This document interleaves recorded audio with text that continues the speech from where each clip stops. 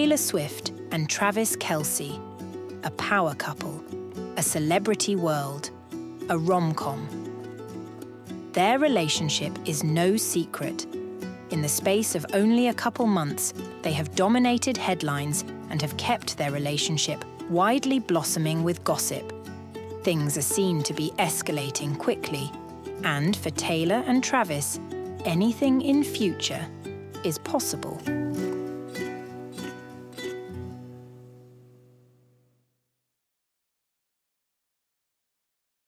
Take slide over for us.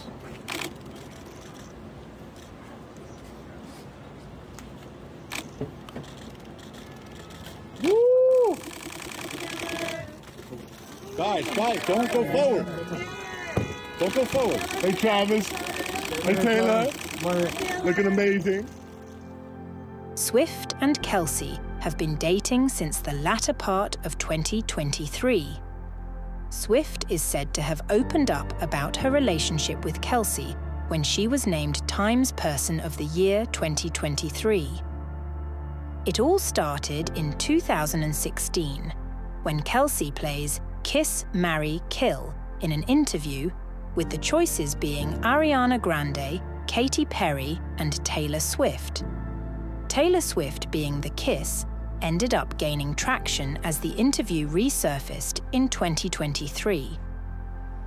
Damn, that's messed up. I don't want to kill any of them. Well, you know, Um, it's just the game. uh, just a game. Uh, It's gonna be harder kill- to find real love. So This you gotta true, play yeah. this game right. What is it? Kill? Kill, marry, kiss. Ari- Ariana is Okay, kill. okay. Unfortunately, love you, but you're you're gone. Um, Okay. and then uh, Taylor Swift would be the kiss, and then Katy Perry. What's the last one? Katy Perry. Katy Perry Marry. would be the yeah. Katy Perry, Perry. would be the He's like, yeah. Kelce is believed to have discussed shooting his shot in July of 2023, while he attended one of her tour shows with his brother. His remarks are said to have gotten media pickup. He says that he is disappointed that Taylor doesn't seem to talk before or after her shows, as she saves her voice for the songs that she sings. In one Taylor concert, Kelce wanted to hand Swift a friendship bracelet, but this one with his number on it.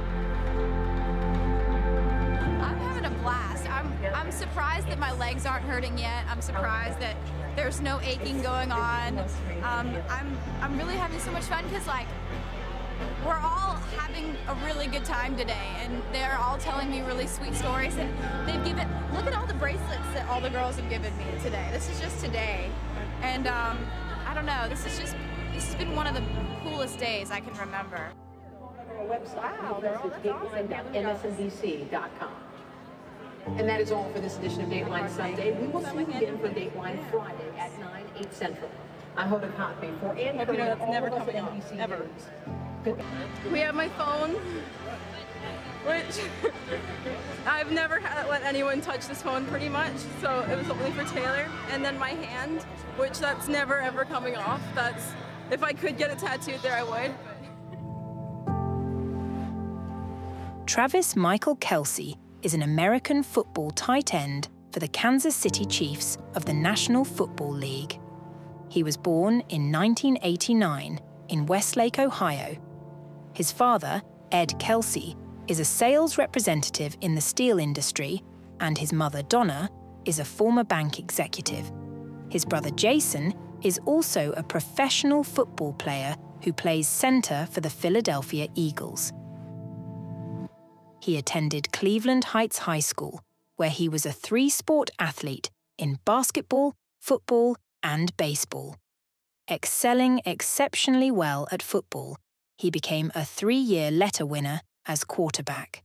I stand by that this team has every piece that it needs to be great. You know, everybody can talk about whatever they want to talk about. That's our weakness. Um, I know that we got a team that can put points up, and I know we got the coaches to be able to put us in the great position to succeed, and um, and that's where we're moving going forward. Uh, and I, it just takes guys to, to lock in and just be ready for those big time moments uh, when we need them most. Considered a two star recruit, Kelce went on to accept a scholarship offer from University of Cincinnati over three other offers. Their motto, Alta Petit, seek the highest, would eventually be attained by the rising star, but not before a steep learning curve. A curve that derailed his quest for success. Kelce embraced the more edgy side of a college lifestyle and engaged in many activities that would later bring him back down to earth and would ultimately make the young Travis hit rock bottom.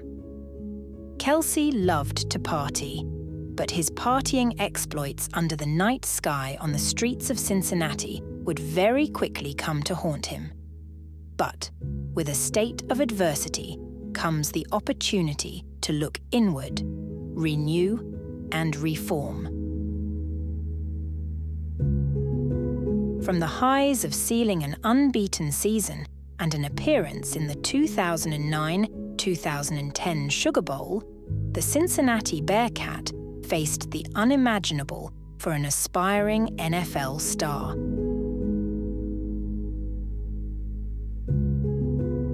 Travis was pulled into the coach's office for breaking university protocol and withdrew his scholarship, dropping him from the University of Cincinnati after posting a positive drug test for cannabis.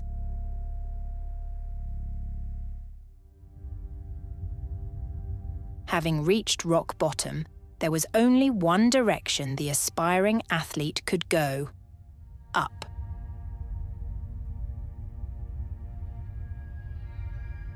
Travis moved in with his brother, who steered him onto the straight and narrow path, convincing the new coach Butch Jones to supply him with one chance of redemption. A decision he would never regret. But for Travis to succeed, there were guidelines to not miss a single class and maintain a 3.0 record. Struggling to fund his studies, the aspiring star turned to telemarketing to pay for college. The hard work and newfound discipline paid off, earning Travis a spot on the new team. It was evident that football was in the brothers' DNA. Celebrations of his brother's sixth round NFL draft pick to the Philadelphia Eagles only fueled Travis's fire to attain the same. Having played quarterback his whole life, Travis returned to the first team in the fall, but in a different role tight end. His athletic performances caught the attention of some of the NFL scouts, as he was named CFP Tight End of the Year. However, as his Dan Patrick Show appearance suggested, Others took a different point of view. All right, weakness. Doesn't have blazing speed. Not a tremendously explosive athlete, doesn't come out of his breaks that well. Plays with the pedal to the metal, which isn't always a good thing. He doesn't run a wide variety of routes, doesn't display sudden or sharp breaks in routes. Character is a big question. Despite his ability, his personality and character had many doubt his viability to succeed at the pinnacle of the sport. Kelce went on to take part in many seasons from 2013. His lifelong dedication to sports and football has won him many fans across the globe. 2013 NFL Draft. Names that Travis thought were worse players than him came and went. As the draft dwindled and hope of attaining his dream began to evaporate, his phone rang. With the 63rd pick in the 2013 NFL Draft, the Kansas City Chiefs select Travis Kelce, tight end, Cincinnati.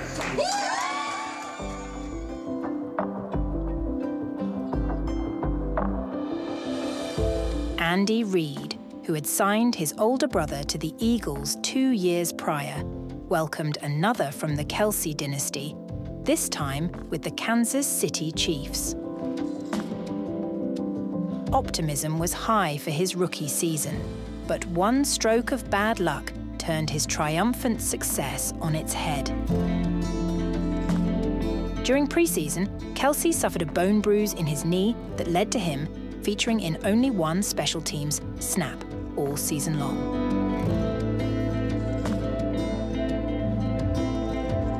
2014. The young tight end had a point to prove in his first injury free season. Kelce scored his first touchdown in week three and never looked back, as he ended the 2014 season as the Chiefs' leading receiver.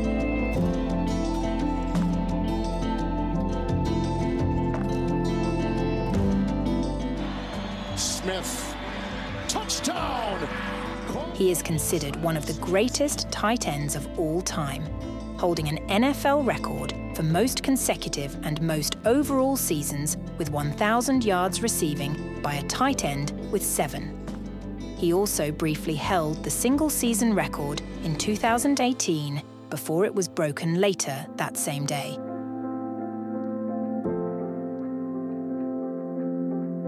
During the 2022 season, Kelce became the fastest tight end to reach 10,000 career receiving yards, and he became the fifth tight end in NFL history to reach the milestone. He was named to NFL 2010's All Decade Team. Outside of football, Kelce has appeared on reality and scripted television and in advertisements. He co hosts the podcast New Heights with his brother Jason, covering a range of topics from football to popular culture. He also has his own clothing line, True Colours, which was created to connect people through colours and give them a way to express themselves. Kelce's jersey sales from this line and individual celebrity status increased, following publicity of a relationship with singer songwriter Taylor Swift.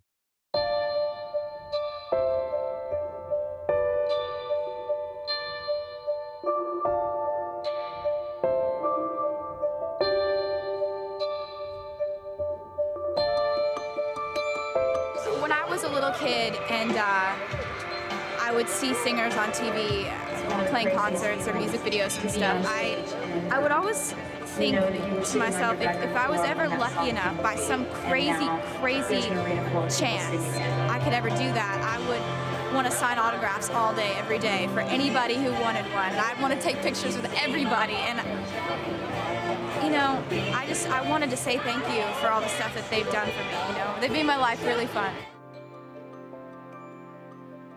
One of the great virtues in country music is humility. You can fake humility and pretend to be humble, but you can't do that for very long. You honestly do have to have humility to be a country star, to be able to say, look, here I am. I'm laying myself in front of you. I hope you like me because I'm not better than you. I am you.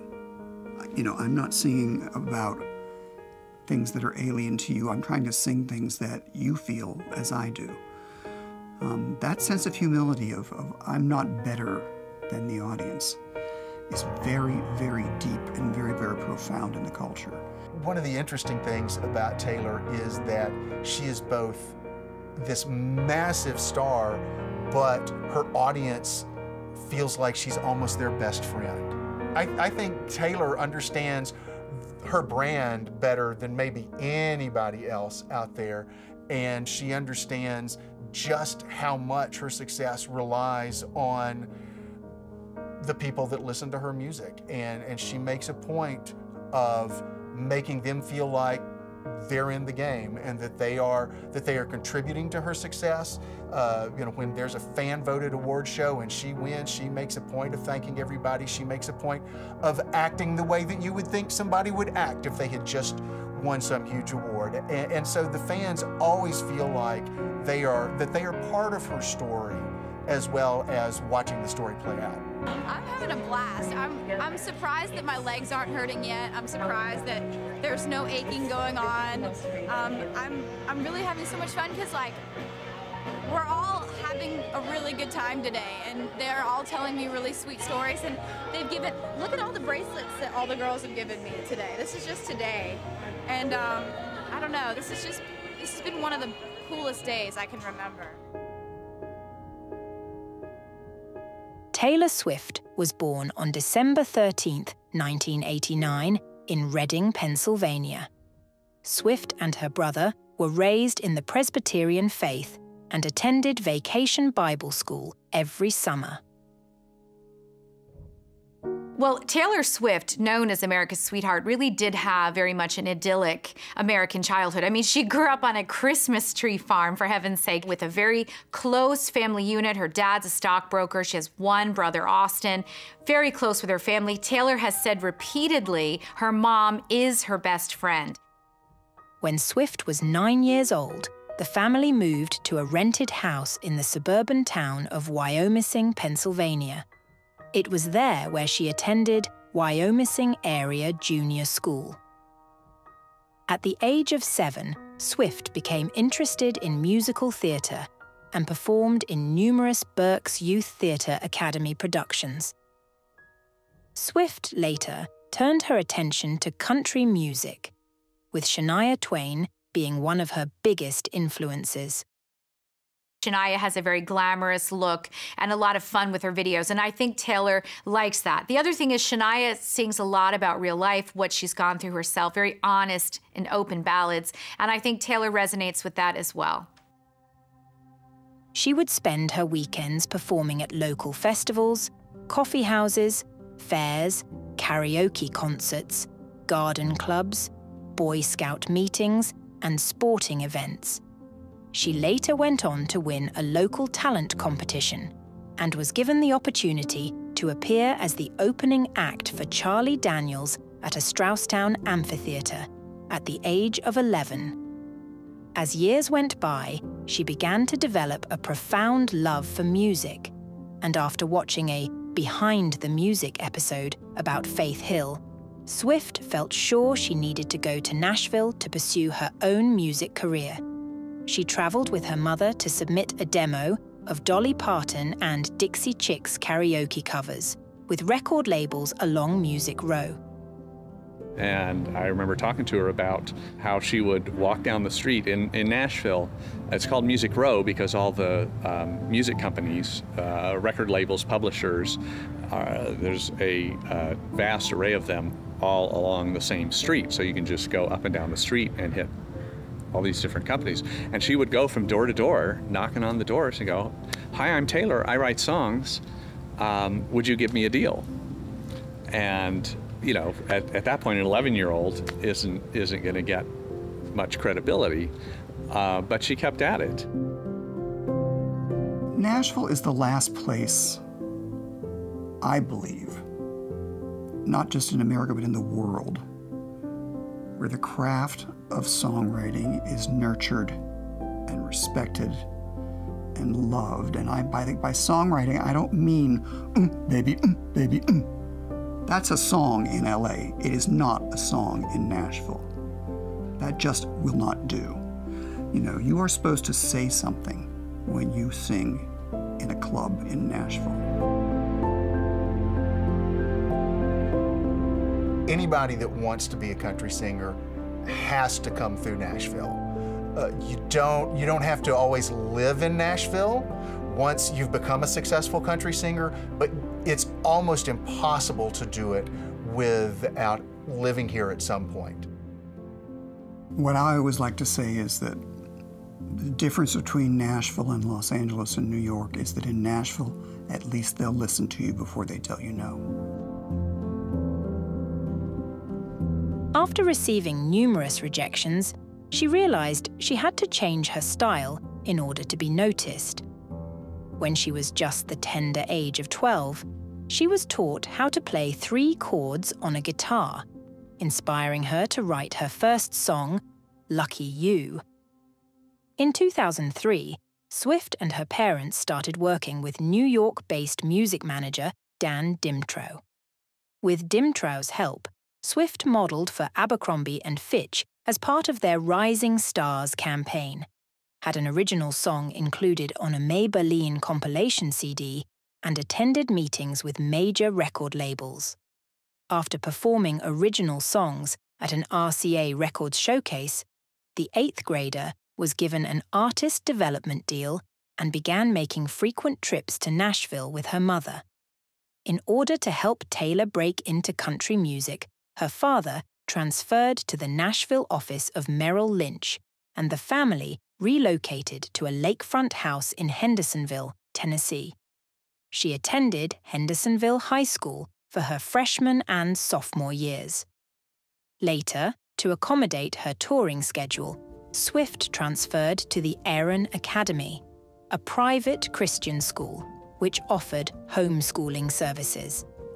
Swift then moved to Nashville when she was just 13 years old, having signed an artist development deal with RCA Records.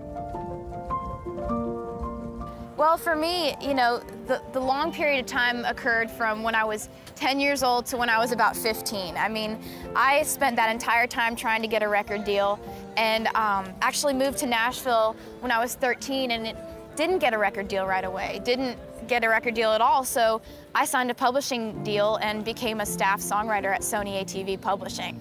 And so I would write every single day after school because it was a it was a job, you know. I was I was a paid songwriter when I was 14, so I wrote songs in Nashville for two and a half years. She proceeded to work with experienced Music Row songwriters and eventually formed a lasting working relationship with Liz Rose. Swift saw Rose performing at an RCA songwriter event and suggested that they write together. I remember uh, Jody Williams, uh, who at that time was Liz Rose's uh, song publisher. And he said something to Liz like, Why are you wasting your time with this 14 year old kid? And Liz said to him, She pulls her own weight. In a, in a songwriting session, she's no kid.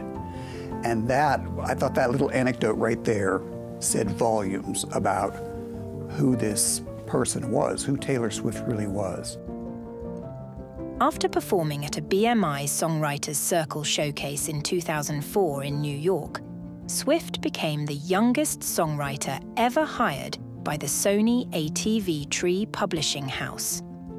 And they really took a chance on me that I was the youngest person they ever signed. So um, I'd been writing since I was 12 years old, and when I was 14, I really started to co-write around Nashville, and um, that was really, really fun because I'd been writing by myself. Um, and getting getting involved in the whole songwriting community in Nashville really helped me along and helped me on my way to, you know, becoming an artist.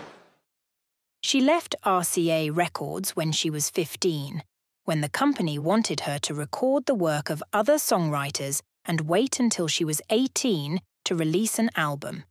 But she felt ready to launch her career with her own material.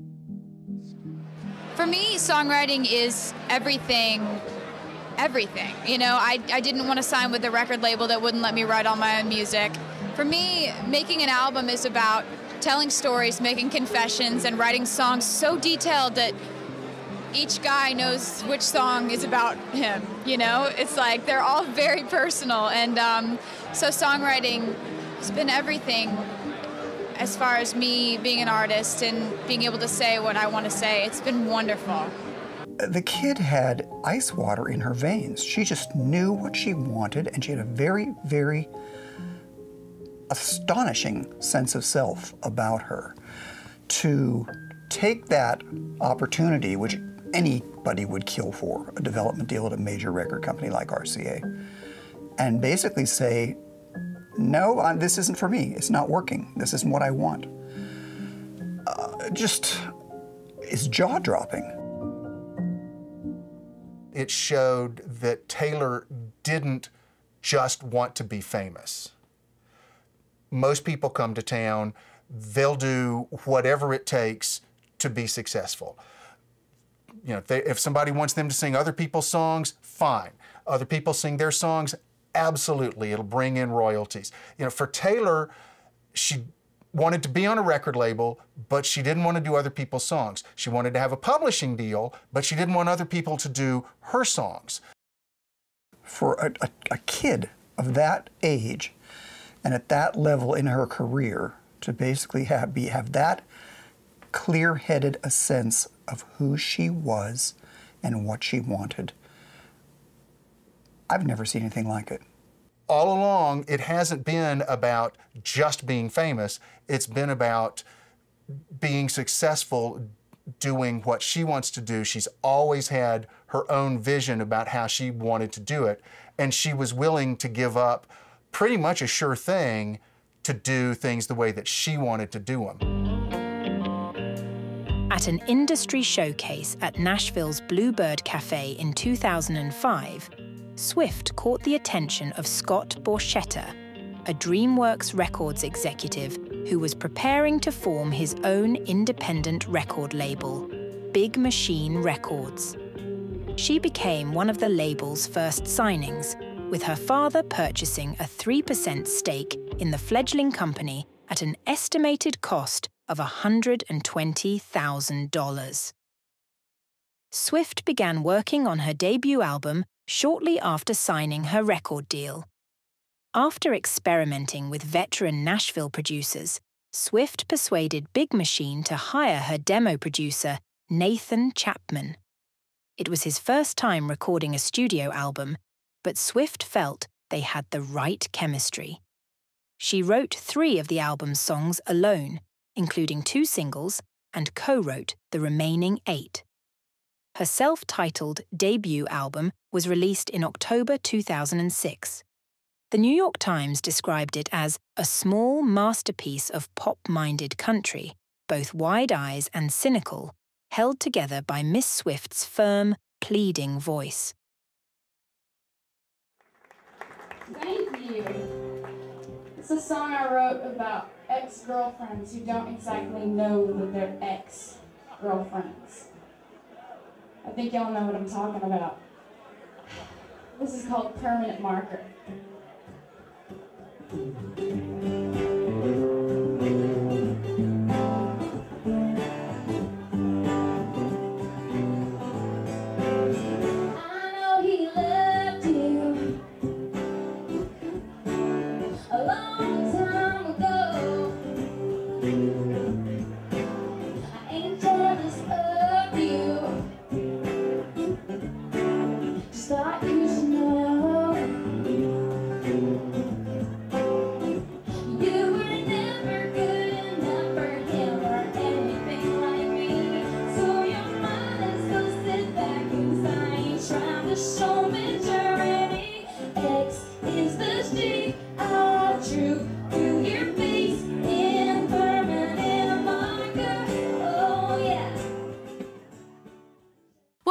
What was so extraordinary about Taylor's first album is that there were so many hits on the album. And as one song would become, you know, go straight to number one, another one was coming out. I think Taylor Swift took everyone by surprise with that first album. I think what took me by surprise was the maturity of this kid. And it started small. It was it was not one of those debut albums that comes out and is at number one on the charts and then kind of falls. It was a build and a build and a build and a build, and it you know, and it kept selling over several years and is still putting up you know one or two thousand units every week. So people are still discovering that first album. The dream for me, you know, I always just wanted to make it in country music. That's what I wanted. I mean, I think your dreams change as you start to achieve more of them. I'd love to write songs for other artists. I love to have a double platinum album. You know, I think part of being in this business is being competitive and and being somewhat restless, always wanting to achieve more than you have and it's kind of like playing yourself. You know, you want to beat what you've already done. So um, I'm just hoping that, you know, I have a second album that does as well as the first and, you know, someday get to be a headliner and always be the same person that I started out as. I first met her in Nashville after she just had just turned 17 and her record had been out for a couple of months and I was really impressed by the record when it came out and that was one of the reasons I went to to meet with her that uh, her songs uh, sounded very refreshing to me because this was a teenager who was um, happy to sound like a teenager. We'd had uh, the the Britneys and Christina Aguilera's and performers like that where everybody's trying to move beyond their years, and she was happy being in the years that she was living in, and it sounded very believable. It's been amazing, you know, just all the things that have happened, seeing my album go double platinum, getting to tour with my heroes, and topping it all off with like a Grammy nomination. I'm just, I'm really, really in awe of it all. Swift's second studio album, Fearless, was released in November 2008. Swift wrote seven of the album's songs alone, including two singles, and co wrote the remaining six songs. She co produced the album with Nathan Chapman. The lead single from the album Love Story was released in September 2008 and became the second best selling country single of all time. You know, on Love Story, Taylor talks a lot about the kind of trials and travails of being a high school girl and getting your heart broken. She does everything from talk about, you know, a cute boy in her math class she has a crush on to getting her heart broken by a boy who promised to love her forever and always. I think that uh, for Taylor Swift, she still experiences life, love, and disappointment the way the rest of us do. And despite the fact that people may be a lot older or from different cultures or different perspectives, um, I think she really gets to the heart of what all of us feel in those situations, hence her incredible mainstream and widespread appeal. The album debuted at number one on the Billboard 200 album chart with sales of over 500,000 copies and has since sold 8.6 million copies worldwide. I remember talking to her and she was going, I'm so excited for you to, to hear um, where we're going because um, it, it's going to be so much better. Um, and she, you could see how excited she was. And she, you know, in, insisted on playing some things for me. And, you know, uh, she had, had her iPod there and she's zipping through and go, okay, you got to hear this one. You got to, and then, oh, what should I play you next? And, and goes on to the next one. So I got a, a preview of it and uh, was uh, impressed by uh, the amount of growth that, that I heard from, you know, two years before. Uh, you could hear now what she was writing about when she was 15 and 16 very, and still in high school, very different than 17 and 18. Now she's, you know, getting up out into the world and her career is really taking off while she still is working on graduating from high school. Swift went on her first headlining tour in support of Fearless and played shows in North America, Europe, Australia, and Asia. The tour was attended by more than 1.1 million fans and grossed over $63 million. I'm just so excited. I, cannot believe all the sellouts. Like when I get a call like that, when they're like, "Oh, by the way, um, the tour sold out Madison Square Garden in a minute." I, I just, I don't know how to react to that other than to just start jumping up and down and screaming. I always expected to have to do a lot of stressing out about selling tickets. And then I went on my first headlining tour and everything just sold out. And I was like, really, this is how this works? Um, I've never expected that kind of success. I've never just felt entitled to my shows selling out or things like this happening to me. But the fact that they have happened to me has been wonderful. And um, I hope that the second leg of the tour is as successful as the first. This tour has been so amazing because the fans have just absolutely made me feel like I've won the lottery of dreams coming true. Um, when I'm up there and I look down and I see all of these t shirts that people have made and um, the signs that they make are hilarious, just very creative.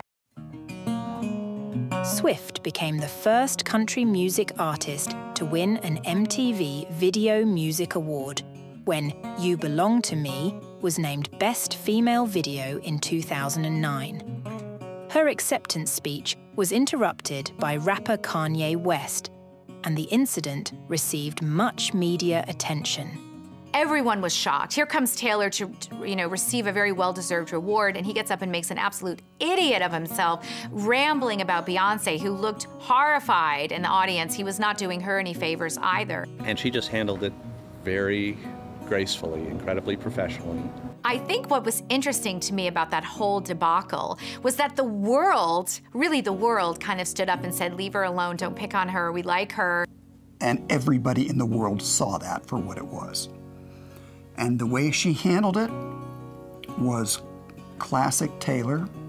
You know, she was just as gracious as ever. I think that's one of those places where she kind of grew up in the public eye because people saw from that that she could handle a crisis situation and just stay calm, just go on about things. She was very gracious. She never really criticized Kanye, who basically went into hiding after the incident because he had embarrassed himself so badly and ended up apologizing uh, profusely on Twitter uh, for really uh, offending not just Taylor, but really a lot of her fans. Taylor brushed off the incident and went on to end the year in tenacious style. Fearless was named Album of the Year and Best Country Album, while White Horse was named Best Country Song and Best Country Female Vocal Performance. She was the youngest ever artist to win Album of the Year and became the youngest artist and one of only six women to be named Entertainer of the Year by the Country Music Association. Well, tonight I'm just gonna I'm just gonna dance around with my band and my crew and my record label and freak out because honestly, I never imagined that the unattainable thing that I had always held in my mind and my imagination would happen to me at 19. And I've watched every single year of my life, I've watched the CMA Awards. Every single year that I can remember watching CMA Awards. So I know what this means, and that's why I am so at a loss for words right now. Um, so, uh, addressing the pace of my career, I feel like I can. I look at it from both ways. Of course, this feels like it feels like just yesterday that I was knocking on doors of Nashville, going, "Hey, will you listen to my demo?" Uh, but then again, I feel so lucky to know you guys and to have talked to you in press rooms and um, to have been an opening act for every single person that I was nominated against in the Entertainer of the Year category. Um, I'm just, I'm just very appreciative right now. Swift then went on to win four Grammy Awards in 2010 from a total of eight nominations. This is the dream come true. It's um, it's like I've never been presumptuous about dreams, and um, when you have crazy dreams like I wonder what it would be like to win a Grammy someday, I I never actually could fathom that it might happen until I was walking up there and winning one. She released her third studio album, Speak Now, in October 2010. She wrote all 14 songs on the album and co produced it. Musically, it has been said that the album expands beyond country pop to border both alternative rock and bubblegum pop. The album's lead single, Mine, was released in August 2010, and a further five singles were released throughout 2010 and 2011.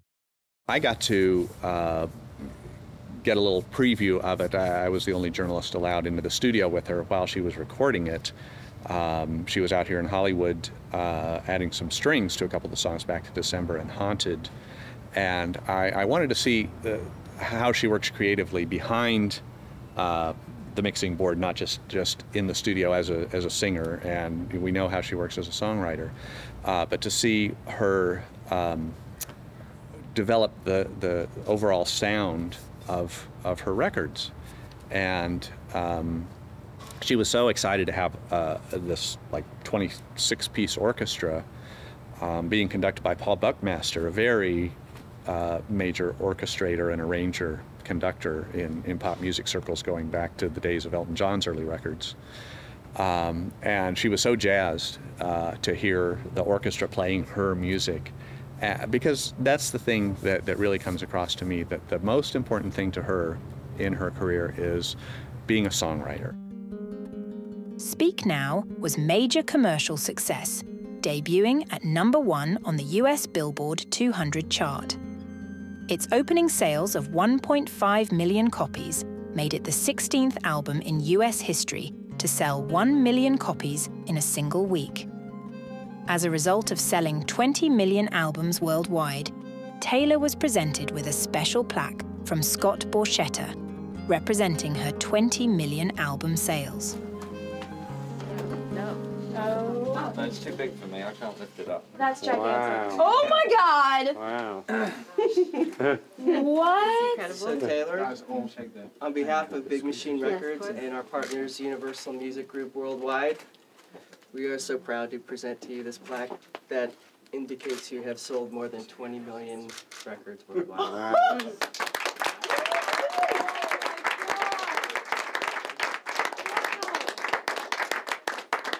Oh my And you have to carry that home now. Yeah, That's right. Yeah. Oh my gosh. I have to find a wall big enough for this. I'm absolutely blown away by the 20 million records plaque. Um, it's just sort of beyond my comprehension to get a plaque like that. And the fact that the fans have done that much for me in such a short period of time is just unreal. And I'm so excited and so thankful. I remember, you know, coming up in the music industry and like I would make goals for myself that were just ahead of the last goal I had just accomplished. I would never make a goal that was so um, so far down the line that I felt like it, it was unattainable. A 20 million record plaque in my mind is just always seems unattainable. I never would have imagined that that would be a possibility for a goal.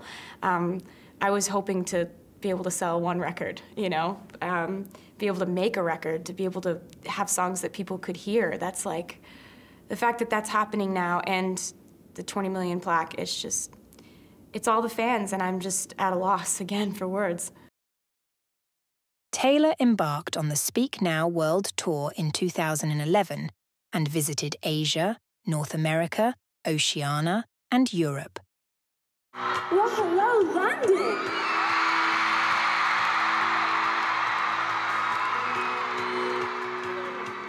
Welcome to the Speak Now World Tour.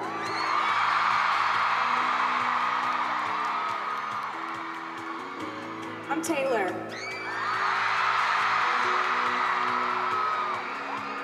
We have had the honor and the privilege of playing in London many times before. But you have never looked as beautiful as you look tonight at the O2.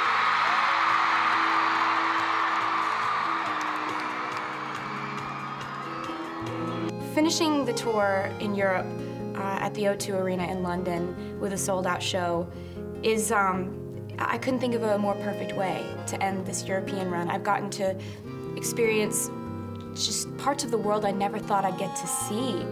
Nonetheless, play shows in and have the crowds singing the words back to me. As a songwriter, to have people singing the lyrics back to you in countries where they don't even really speak English, it's like, so gratifying. It just, it's been a really beautiful tour here, and finishing it here at the O2 is just so perfect.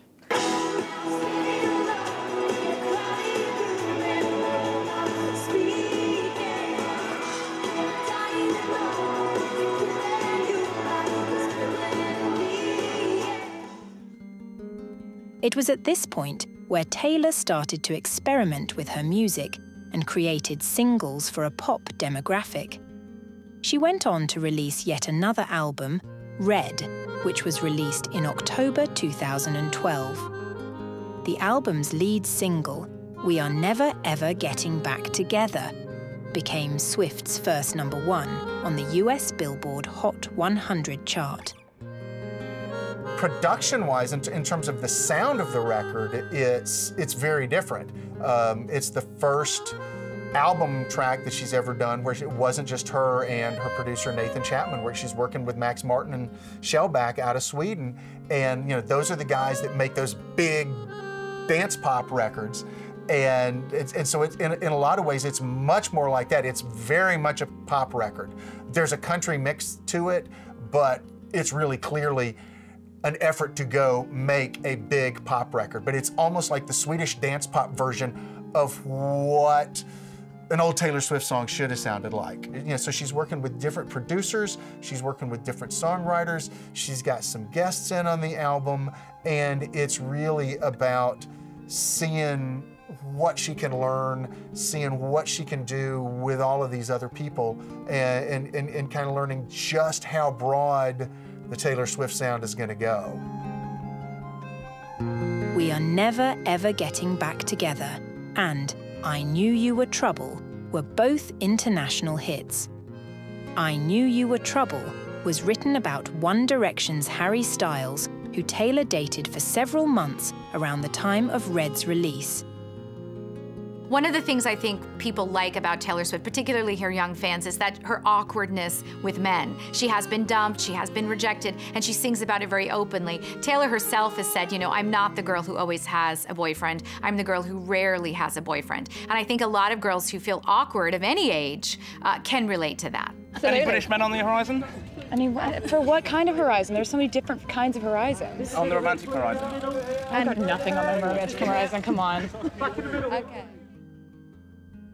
As part of the Red Tour, Swift played 86 dates in North America, New Zealand, Australia, Europe, and Asia. I'm really excited about being in China for the first time.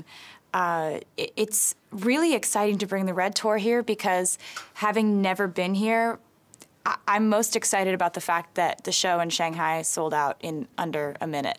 That was unbelievable. So it makes me even more excited to play the show knowing that there was that much demand here.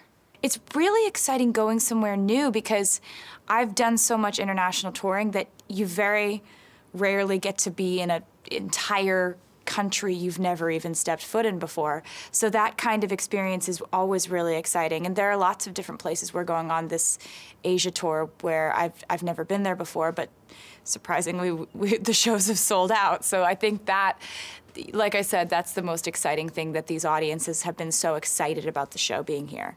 It's, it's hard to try and figure out why my music works so well uh, in Asia and why the fans like it so much. I, I'm honored by the fact that they, you know, even if English isn't their first language, they would learn the words to my songs and sing them back to me in concert. That's it's really fun for me to know that they put that much effort in, um, and also it's that kind of amazing reminder that music is one of those unifying factors that works all over the world and. Um, looking out into the crowd and being in a completely new place, seeing that it's sold out, seeing that people know the words to the songs, it's really, really incredible. So we're in Shanghai. Uh, we're actually going to do a dress rehearsal to prep for the Asian tour. And although it's predominantly the same set list and production elements as the North American and the things we've done in the UK, it's uh, it's good to kind of get back in the swing of things. So I'm going to do a dress rehearsal, and everybody's in full costume. So we're going to go do that now to a completely empty arena. Tomorrow things will look a lot different. I, I'm really excited about the idea of touring all over the world and, and putting out albums that will translate all over the world. And um, you know musically I think I think that's been a huge motivating factor for me in making new music is is making sure that it's music that um, people will love in America and maybe maybe they'll love in Asia and maybe they'll love in Europe. And that's been a new thing I've really hoped for um, being able to travel internationally and tour internationally.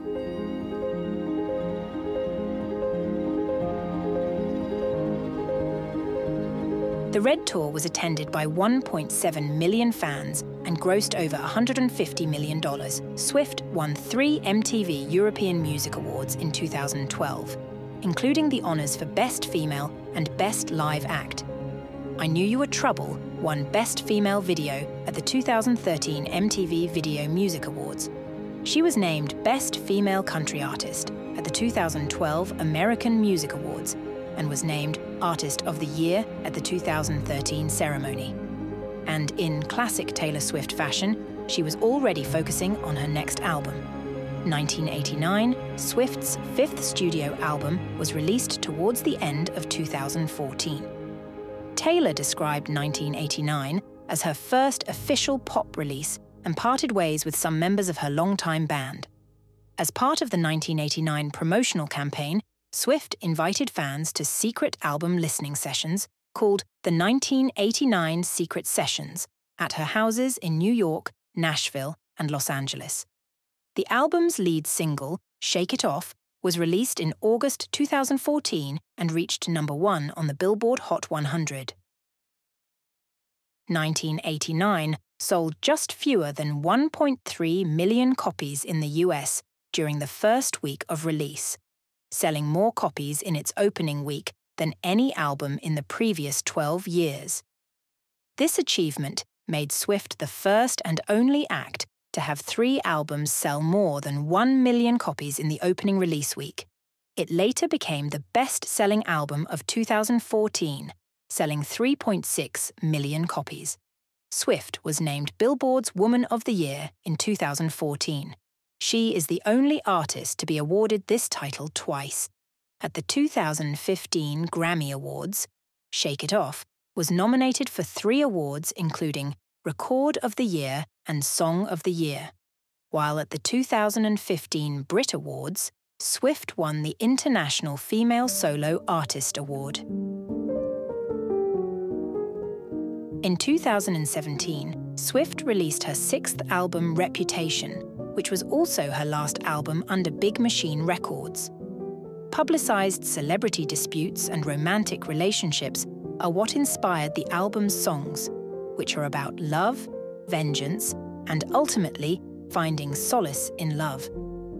She then went on to sign with Republic Records in 2018 and released the eclectic pop album Lover in 2019 and autobiographical documentary Miss Americana in 2020. She embraced indie folk and alternative rock on 2020, albums Folklore and Evermore, and explored understated pop styles on Midnights in 2022. Folklore made Swift the first musician to have seven albums each selling at least 500,000 copies within the first week of release in the United States. Throughout her musical career, Swift dated stars such as Joe Jonas and Harry Styles. Some songs were also made throughout her career about her lovers. But without Taylor's openness and honesty about her romantic life and exes, we wouldn't have some of her best lyrical work. Most recently, in September 2023, Taylor and Travis have been seen to be in the talking phase of their relationship. Later in that month, the NFL Network's Andrew Siciliano reposts an interview with Travis from August of 2023, in which he asks the footballer about Taylor, in particular, the friendship bracelet.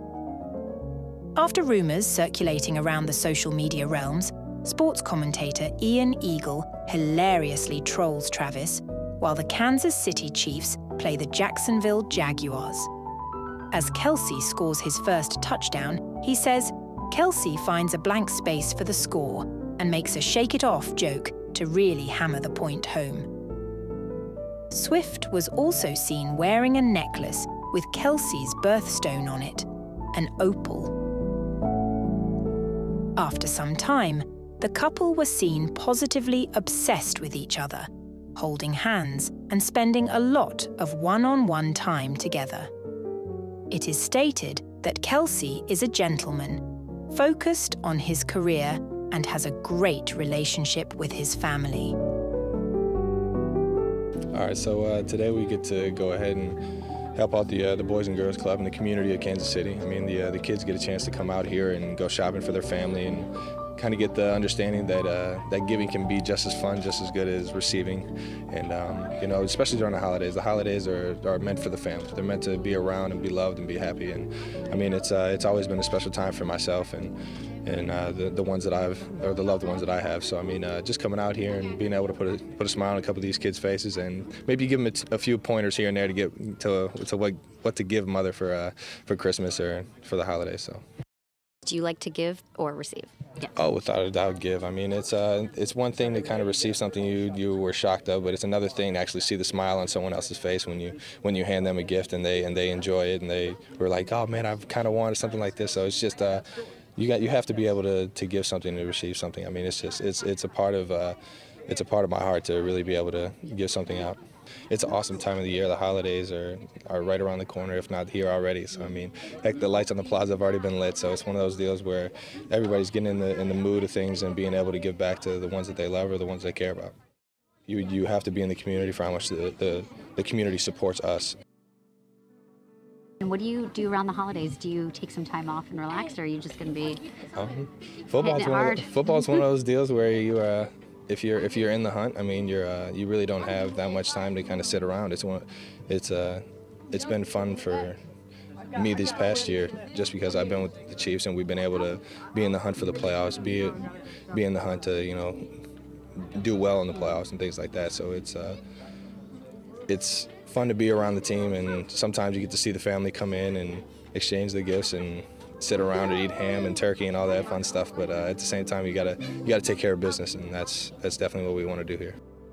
what does it mean to play for the Chiefs? What's it like being in Kansas City? How does that mean to Oh you? man, it's uh, it's been it's uh, it's meant a lot more since I've been here. I mean, just to see how much this community rallies around the Chiefs and even the Royals at that. I mean, it's a, it's an awesome, awesome, awesome town, sports town at that. And I mean, for uh, for a, an athlete to come into this city after being in different cities, I, I've recognized different areas, and not not every single city, not every single team gets as much support as Kansas City gets. So I mean, for me to be here, I, I just want to give back everything that they give to me, just because I mean, I uh, I enjoy every single home home game up at Arrowhead and everything like that. So.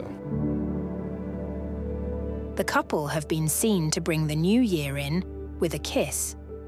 With Swift's first appearance at Kelce's game in Kansas City becoming one of the year's most buzzed about moments, the couple have been seen to be the happiest together and have reported feeling like they've known each other for years.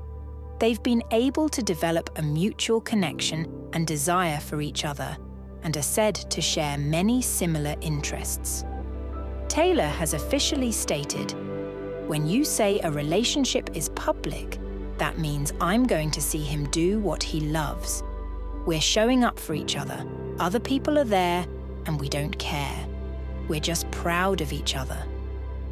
Taylor and Travis, the new romance.